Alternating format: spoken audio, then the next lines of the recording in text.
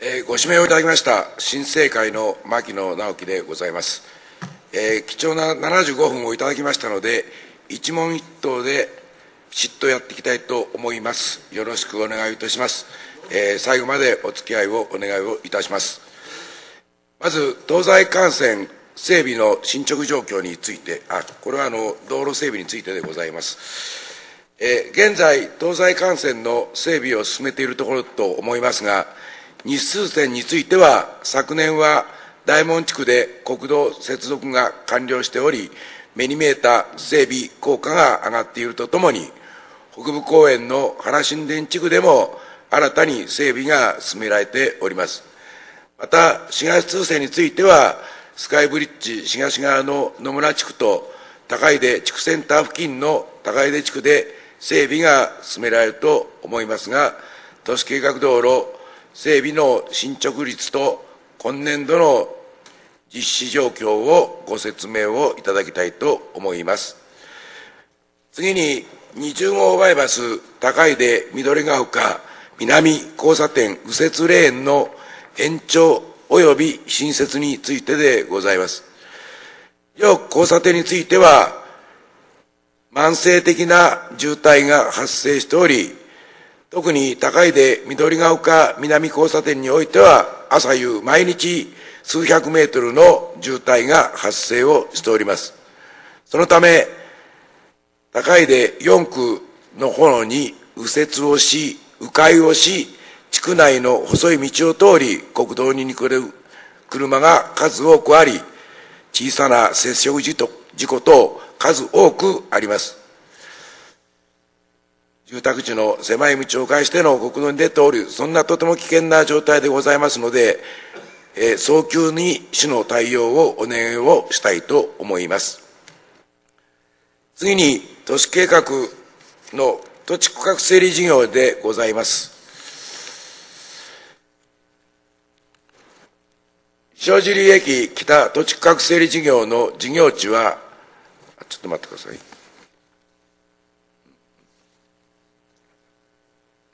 あ、これだ。すいません。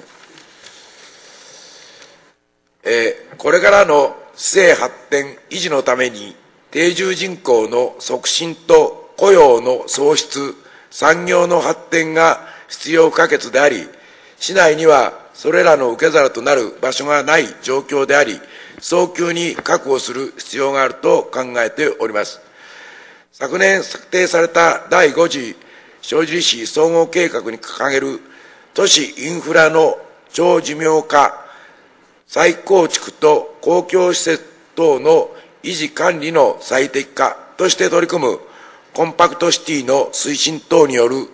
居住環境の整備として計画されている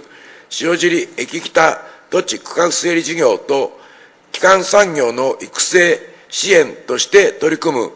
企業誘致の推進として計画されている野村清原土地区画整理事業は長期戦略としてこの課題解決に不可欠であると解釈しますが現在の進捗状況と今後についてお伺いをしたいと思います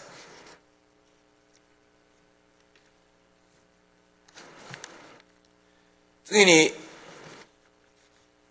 新体育館建設予定地の土地利用についてでございます。新体育館予定地を含む松本歯科大学周辺の区域については、市の公共施設、公公益的施設及び民間等による公益的公益的施設を集中的に配置及び誘導するとして、約90ヘクタールの範囲をシンボルゾーンとして位置づけ、シンボルゾーン整備基本構想が平成6年3月に策定されたと記憶をしております。シンボルゾーン構想においては、ゾーンごとに多様な事業が計画され、これまで都市計画道路の整備や基競争が建設されてきたと思います。また、今回の塩尻駅北地区の土地区画整理事業についても、構想策定当時の計画に沿った形で、都市的土地利用が図られるものと認識をしております。そこで、新体育館建設予定地周辺の今後の土地利用については、どのようなお考えがあるのか、お聞かせをください。